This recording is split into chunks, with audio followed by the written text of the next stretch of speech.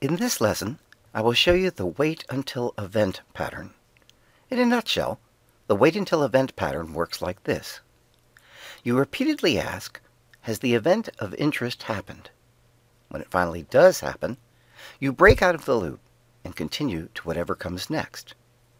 For example, here Wally asks, have I hit the wall? Have I hit the wall? Have I hit the wall? Have I hit the wall? Have I hit the wall? Yes, I hit the wall. And then Wally peels himself off the wall. Before investigating the details of the wait until event pattern, let's review the so-called definite loop pattern that we have already studied.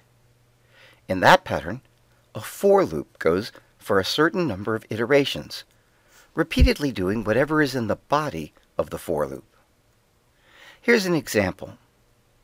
After constructing a window and initializing some variables, the definite loop begins. It runs 150 times, each time constructing and drawing a purple circle, then moving and growing the circle for the next time through the loop. Here's the animation that results from running this definite loop example. So a definite loop, that is a for loop, works fine if you want the loop to run a certain number of times. But what if you want the loop to run until some condition is met? That is, until some event occurs. For example, suppose that you want the circle animation to run until the circle grows too big for the window. Then you need the wait until event pattern. On the left-hand side, we see the definite loop pattern. It runs a fixed number of times, here 150 times. On the right-hand side, we see the wait until event pattern. It repeatedly asks, has the circle grown too big for the window? If so, break out of the loop and stop. Here are two other examples of the wait until event pattern. In this example, the program repeatedly asks for input from the user and then processes that input, calculating something from it, storing it, whatever. But when the user enters a special value, called the sentinel value, that value signals that the user is finished entering input, and so the code breaks out of the loop and stops getting input. For example, perhaps the user is getting numbers with minus 1 as the sentinel value. Perhaps the user enters 463. It then gets processed. The user enters 814. It then gets processed. The user enters 22. It then gets processed. Finally, the user enters minus 1, the value that the program and the user have agreed to use as the sentinel. The sentinel guards against the loop continuing, and the code breaks out of the loop. In the example on the right, a robot starts moving, waits until it bumps into something, then stops. Inside the wait until event loop, the program repeatedly asks the robot, have you bumped into anything?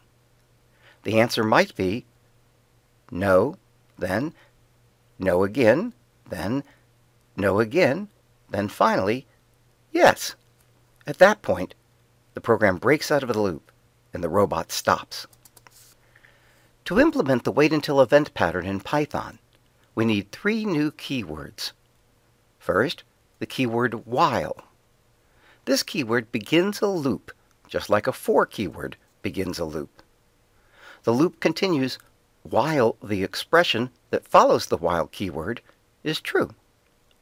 Second, the keyword true with a capital T. This is the built-in constant in Python for true. So a while true statement goes while true is true, which would appear to be forever. But the third new keyword, break, comes to our rescue. When the event occurs, the wait until event pattern issues a break statement. That causes execution to break out of the enclosing loop. Thus, the while true loop is not necessarily an infinite loop. It ends when the event occurs and the break statement fires. Note that break breaks out of the enclosing loop, not the enclosing if statement. A break statement can be used in for loops as well as while loops. Here is the Python implementation of our input until sentinel example. The while true loop repeatedly gets input and checks if the input is the agreed upon sentinel minus 1. If so, the program breaks out of the while loop. Otherwise, the program processes the input as desired and continues the while loop. On the right is the Python implementation of our robot go until it bumps something example. The robot starts moving. Then we enter the while true loop. The robot repeatedly gets sensor input. If the sensor input indicates that the robot bumped into something, the program breaks out of the while loop and the robot is asked to stop. Otherwise, the loop continues and the robot gets sensor input again, checks if it indicates a bump, and so forth. By the way, don't get hung up on the notation here for a robot to get sensor input, indicating whether or not it is bumped into something. We'll investigate those details in the robot exercises that you do in class. In summary, we've seen two basic looping patterns. First, there is the definite loop pattern. In that pattern, something gets done repeatedly a certain number of times. For example, we animated a circle by repeating 150 times, draw, move, and grow the circle. Second, there is the wait until event pattern.